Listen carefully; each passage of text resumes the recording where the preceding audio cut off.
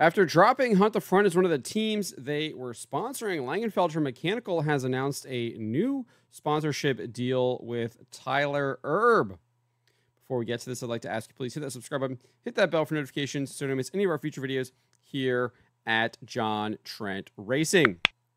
So we had this post here, May 10 from Langenfelder Mechanical Incorporated, one of the top sponsors or one of the uh, former top sponsors for the Hunt the Front car. And they, Langenfelder Mechanical posted this as of today. We are no longer affiliated with Hunt the Front. I feel betrayed, and I'll leave it at that. Karma.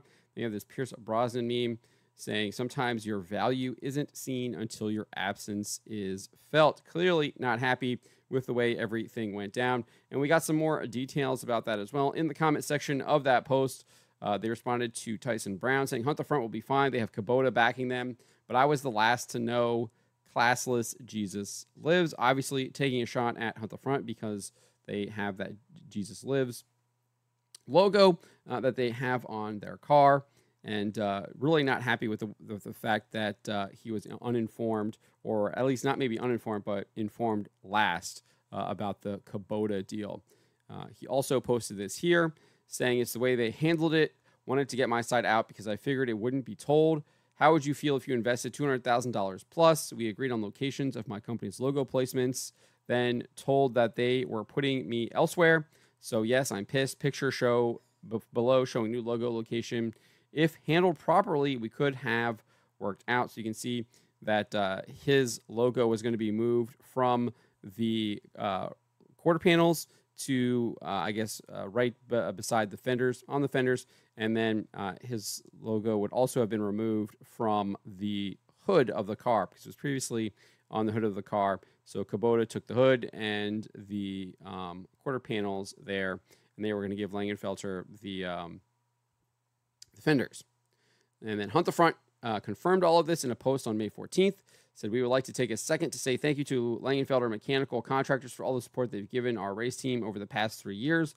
Unfortunately, all good things must come to an end, and they've decided to go a different direction. We wish them the best in the future. We're looking forward to what's next for our program. And then on May 17th, just a three days ago, uh, Hunt the Front announced this. Y'all help us welcome Kubota Tractor Corporation to the team. We're thankful to have Kubota on board as the presenting sponsor of the Hunt the Front YouTube channel and the primary sponsor of our race team. Most of you have probably seen Kubota popping up all over dirt track racing the last month or two. It's all part of an investment Kubota is making in our sport, and we're thrilled to be a part of it. Most importantly, we're proud to represent a brand that's committed to serving rural America and supporting the things we're most passionate about, like dirt track racing. With that said, here's our new look. We love the orange. Y'all let us know what you think. And then obviously you can see very similar to what had been uh, scoped out there for Langenfelder Mechanical. Obviously, Langenfelder is not on the um, front fender there. Looks like they do have a space available for a, another sponsor there, but you can see Kubota is on the quarter panels, uh, is on the hood, and then has it's you can't really tell it's on the hood or uh, excuse me on the roof, but it is on the roof as well.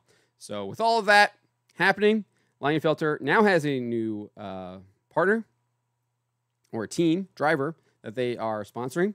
They posted this just a couple hours ago. We are proud to announce that we are supporting Tyler Erb, number one, along with Gary Stuhler. Please support them with t-shirts, etc. One is a Hall of Famer, other is a future Hall of Famer. I'm not sure where exactly this uh, um, photo was from. I know that uh, I believe that Tyler Erb did just win a $5,000 to win race this past weekend at Lawrenceburg. Uh, so, uh, fresh off a win, Tyler now has a new sponsor in Langenfelder Mechanical Incorporated. So, let me know what you guys make of this. Let me know in the comments below.